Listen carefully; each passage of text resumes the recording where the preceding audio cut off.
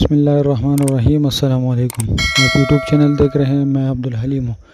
جیسے کہ آپ سب کو معلوم ہے کہ کل سعودی گورنمنٹ نے ڈائریکٹ فلائٹ بحال کر دی ہے۔ جو بارہ تیرہ ممالک انہوں نے بین کی تھی، ان سے فلائٹ بحال کر دی ہے۔ لیکن اس میں کچھ شرائط رکھی ہے۔ ایک شرط تو ویکسین کی ہے، اور دوسرا اس کے علاوہ جو ہے، جس کے پاس ویلڈ اقامہ ہو تو جو ویکسین کی شرط ہے، وہ یہ ہے کہ آپ نے چھٹی جانے سے پہلے سعودیہ میں ویکسین کی دونوں خوراکیں لے چکے ہو۔ آپ نے وہاں پر جو ویکسین کی ڈوز ہے وہ کمپلیٹ کر چکے ہو۔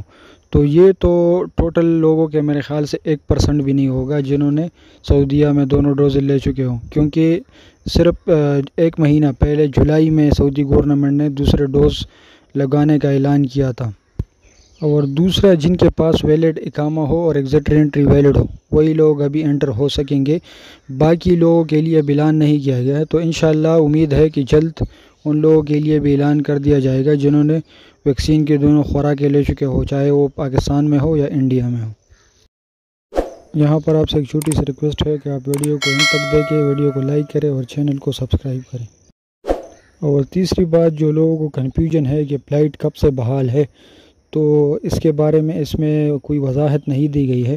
لیکن کیونکہ مختلف سعودی جو گورنمنٹ کی جو ویب سائٹ ہے، اس پر کہیں پر یہ نہیں بتایا گیا ہے۔ تو اس کا مطلب ہے کہ کل سے جب سے انہوں نے اعلان کیا ہے، تب سے یہ فلائٹ بحال ہے۔ یعنی کل سے جو ہے، جو لوگ جا سکتے تھے، وہ چلے گئے۔ اور اگر ابھی بھی کوئی جانا چاہتا ہے، تو وہ جا سکتے ہیں۔ وہ لوگ ہی جا سکیں گے جنہوں نے سعودیہ میں دونوں ویکسین لی ہو۔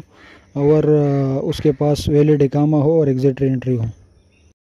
تو یہ تھی کچھ اہم انفارمیشن اور اپڈیٹ فلائٹ بحالی کے حوالے سے جو آپ لوگوں کے ساتھ شیئر کی۔ اگر اس بارے میں آپ کی کوئی اور کمنٹس ہے تو آپ کمنٹ باکس میں اپنا کمنٹ لکھ لیں، میں آپ کو رپلائی کروں گا۔ اور اس بارے میں کوئی اور اپڈیٹ آیا تو وہ لازمی آپ کے ساتھ شیئر کریں گے۔ Thank you